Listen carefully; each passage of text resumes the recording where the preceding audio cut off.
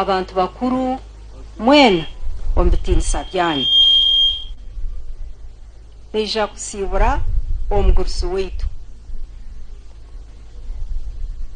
kandi neija nyine okushemererwa kwingi n'obusaasi burimu konka okukira n'okushemererwa kandi omu rujungu nibagira ngu pride. Konka omuri nyankore pride nikibaasa kusha kubi okwehurira tukwehurira n'okwe- okwe- okwesiimisiza tinakimanya ekigambo ky'orunyankore but I, I stand in pride to be the daughter of this great man. Tinkuza kumugambaho bingi. Twabarisya mwariha tushemerewe kuheza omukoro ogwo. Kandi nkoku muzeeyi adokone kyonagizire nyumwazi yona mirembe ati kutukuguma ntwongere okumuheisa okumuheisa. Ati nikija kurugaho nikiba fulatari ati katukomyaho so tinkwija kumuheisa. Konka nyo ninja kugamba nindeeba omu maisho. Nindeeba omu maisho ebyatutsigira eki twakubaasa kubikozesa. Ahabw'oburungi bw'ihanga ryaitu babagambira mwatuhurira n'abandi abagamba ngu omushaija ogu akaari nationalist. Akaari omushaija w'omuruti. Nangwa nimbaasa kubagambiraho ngu omwaka gwa rukumi rwenda ataano n'ena this young man boniface myogoma byanyuma fell in love with a young woman called Gertrude Kabwasingo we kandi yatunga scholarship kuza Exeter University kushoma so yatsiga. Yamugambira ekigambo atuntegereze yataha buraya yashoma Exeter University. Yarga after one year yashanga omwishiki wamutegereze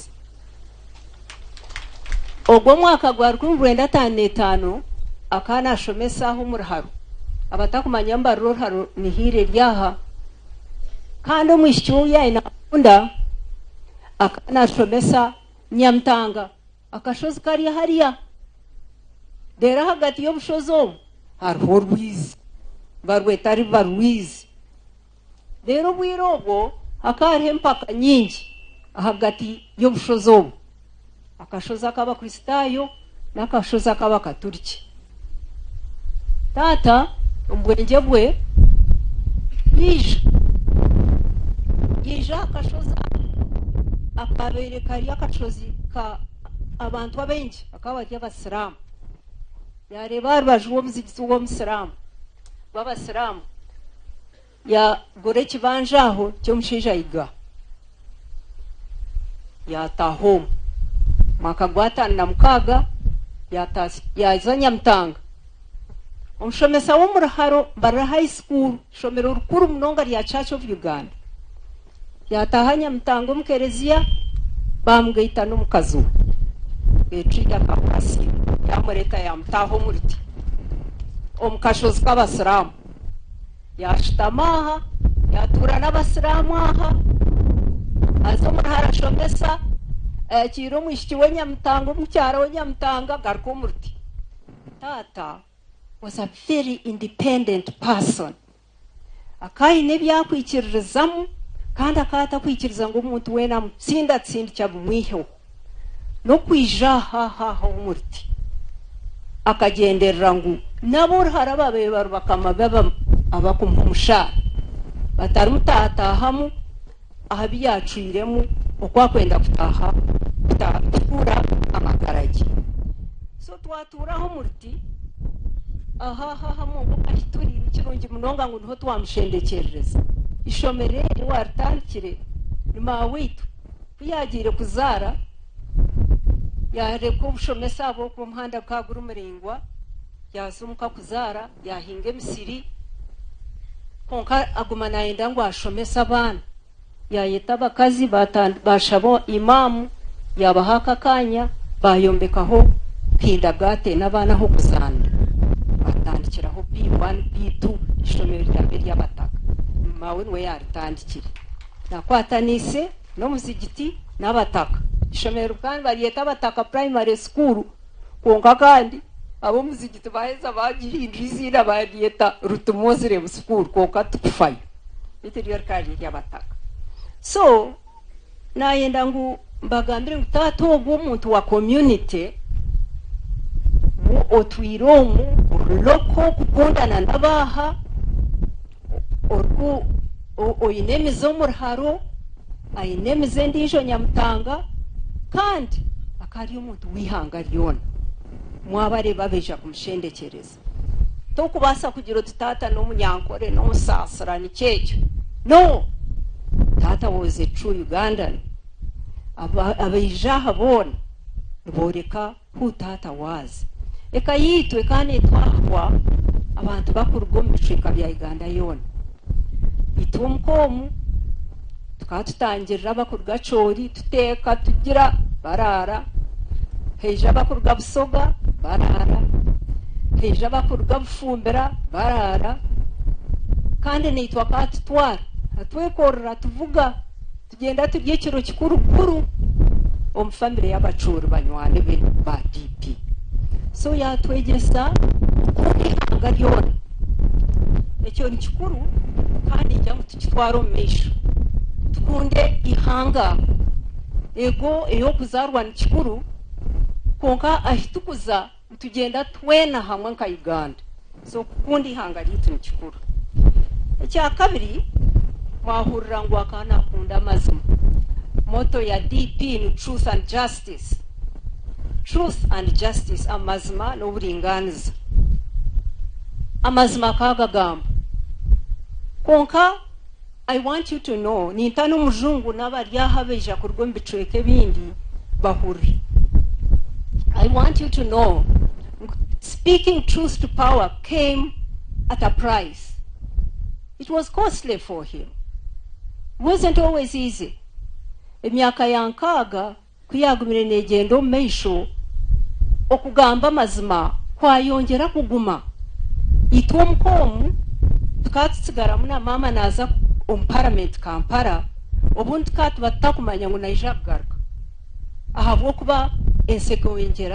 kuguma okugamba abantu bakwatwamu I heard Norbert Mao say, quoting some of his parliamentary speeches and mentioning how he voted opposing a very important motion but didn't speak.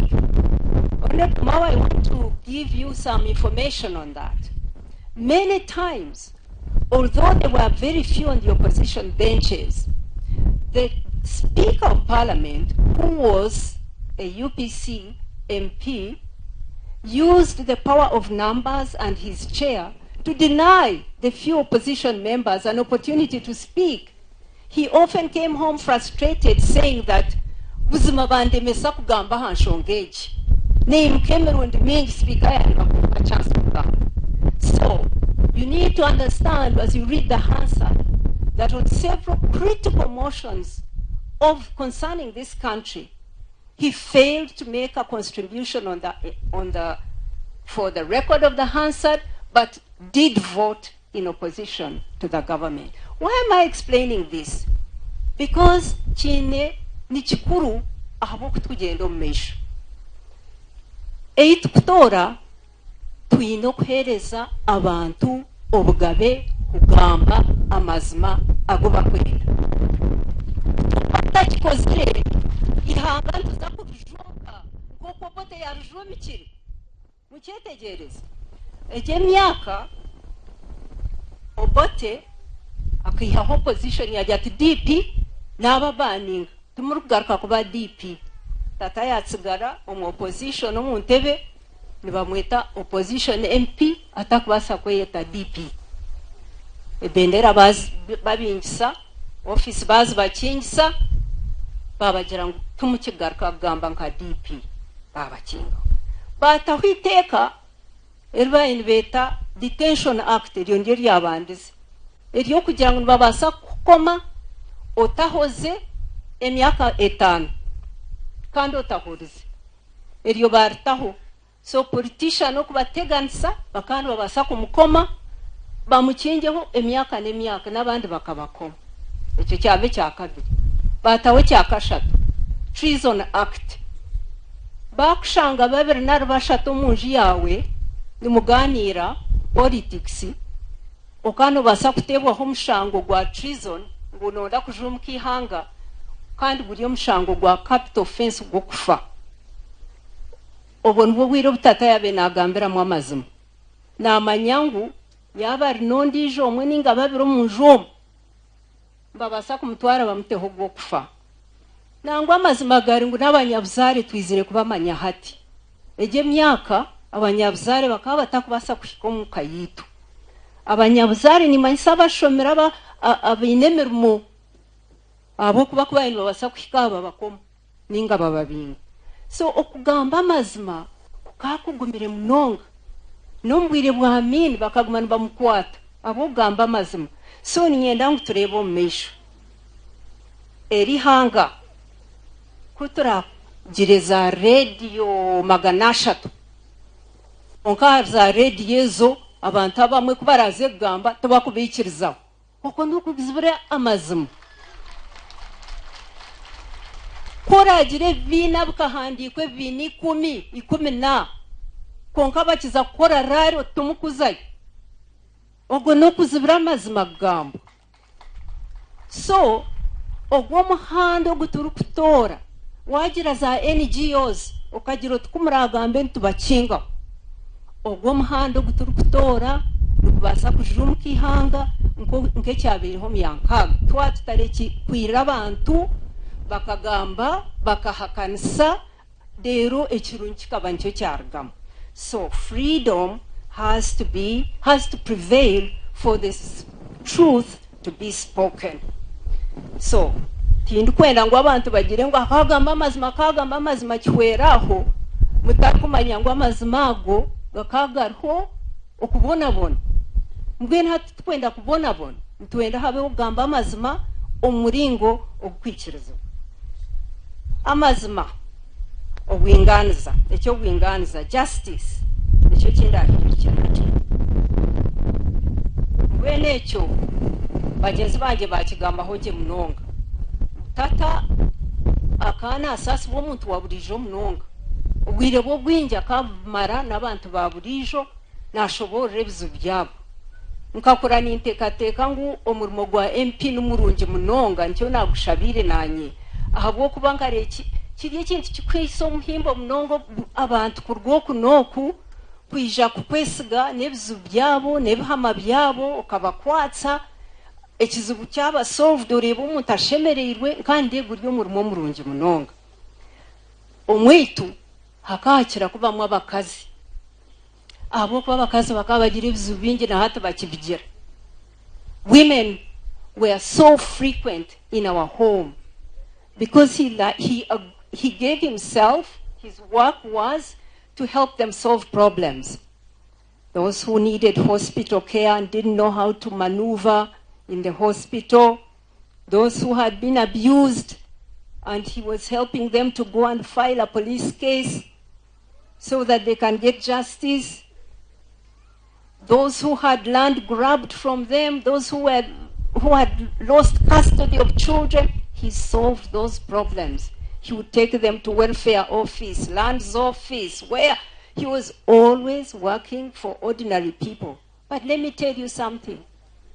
These people, when you look at what their problems were, they were usually problems of abuse of power, abuse of office.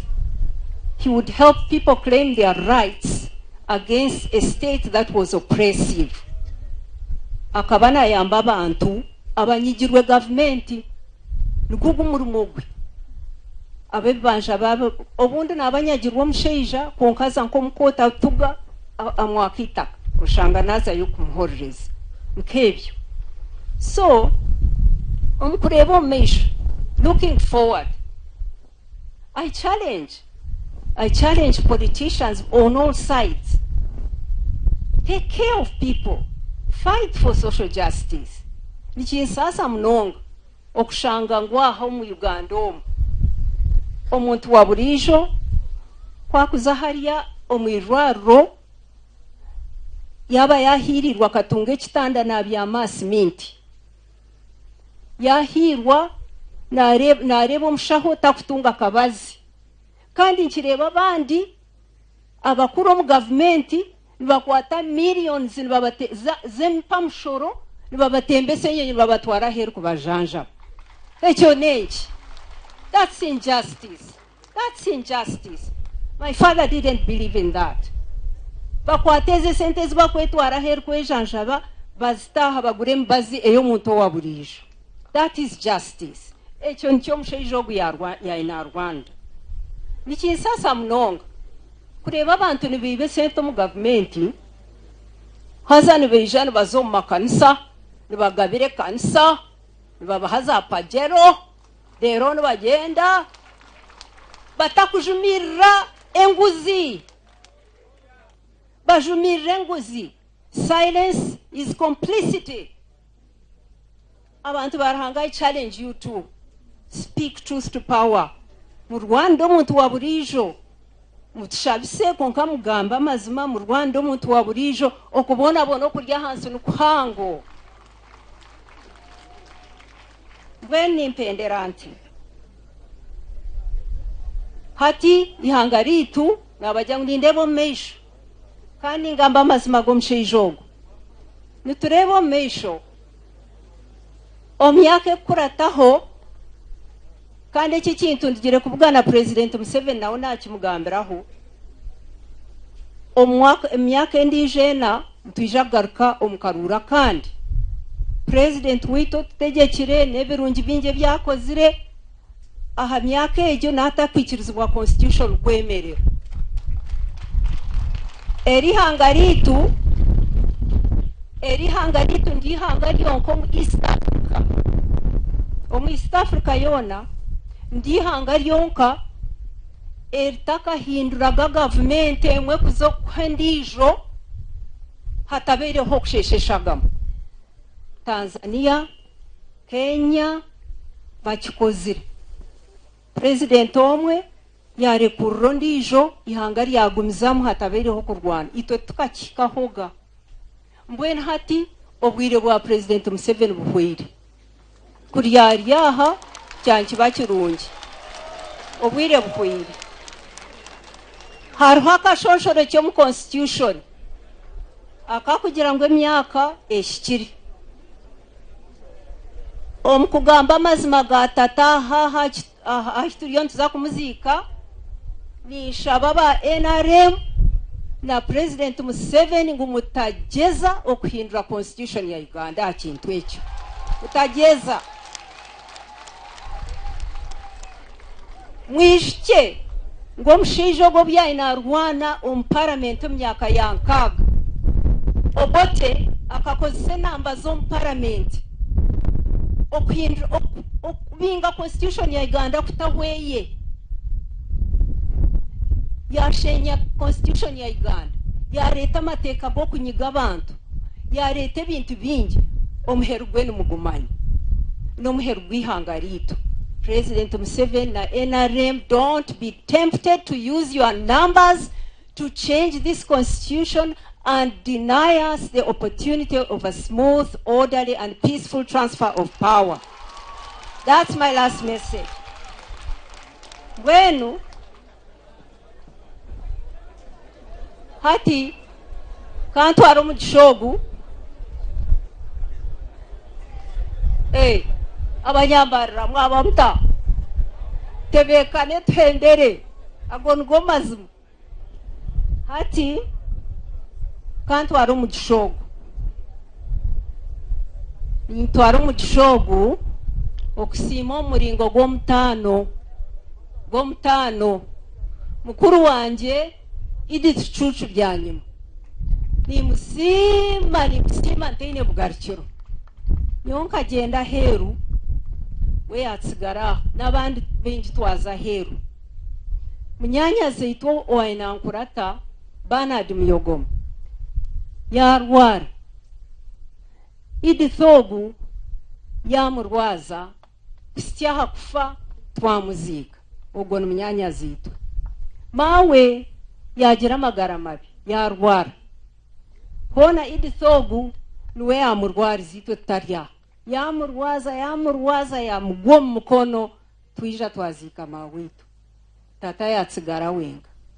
Emyaka endiijo munana egi emyaka munana ebeire muzibu omu magara ga tata.